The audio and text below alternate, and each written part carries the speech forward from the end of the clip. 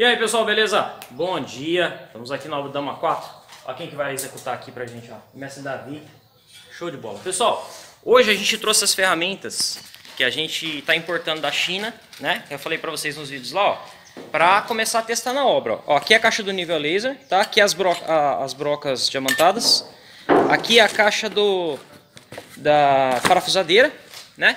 E a gente está começando a ver a diferença entre os lasers, ó. Esse aqui é um laser que o Davi tem, tá? Laser normal, de duas linhas, vermelho. Esse é aquele nível 3D, ah, o laser 3, é, 3, 12 é, linhas que a gente importou da China. Pessoal, dá uma olhada na diferença de visualização da linha vermelha para a linha verde. Nessa área que está iluminado e dá uma olhada na diferença nessa área mais escura. Olha como que o nível a laser verde, ele, ele é muito mais fácil de observar, muito mais fácil de enxergar. Ó. Mas muito mais fácil. Rapaz, é até assustador, né, David?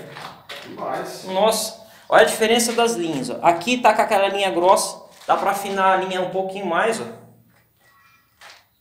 E o que, que a gente está fazendo aqui, pessoal? A gente está calibrando. A gente está. Esse aqui, que, que é o, o que o Davi tem, ó, esse aqui que está no tripézinho aqui, ó. Esse aqui a gente já trabalha com ele há muito tempo, né? Já é, a gente já, já usa ele faz tempo nas obras. E a gente vai fazer o seguinte, a gente vai comparar o, o nível é, 12 linhas com esse. Para ver se o, o 12 linhas está calibrado mesmo. Se tiver, cara, ele dá 12 linhas, dá esquadro, prumo, nível, dá, só não faz arroz e café. O resto faz tudo.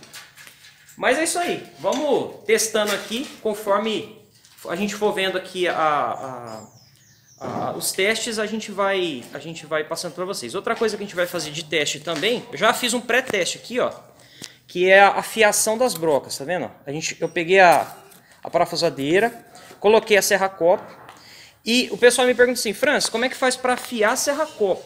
Eu já fiz a afiação de uma, eu vou gravar um vídeo específico para afiação. Para afiar a serra-copo, pessoal, vocês têm que fazer igual a gente fez no, no, no vídeo da... da... Pô, caramba. Do disco de serra mármore.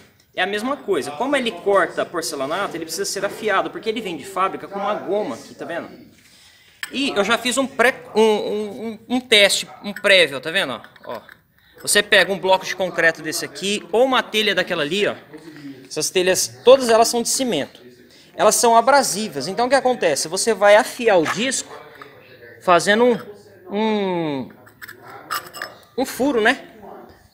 Você vai fazendo um, é, um furo nessa ou no tijolo ou na telha de concreto que você vai tirando essa goma que tem por cima do, do diamante aqui para ele ficar melhor, para ele poder né, cortar, beleza. Lembrando que qualquer broca para porcelanato cerâmica tem que ser usado a úmido, tá pessoal? Tem que ter refrigeração. Então, sempre tem ali um, ou um borrifadorzinho ou uma espuminha. Você vai colocando água ali e vai furando, beleza? Pessoal, vamos ficando por aí porque a gente vai começar aqui. O mestre Davi já tá lá postos, ó. Testando lá.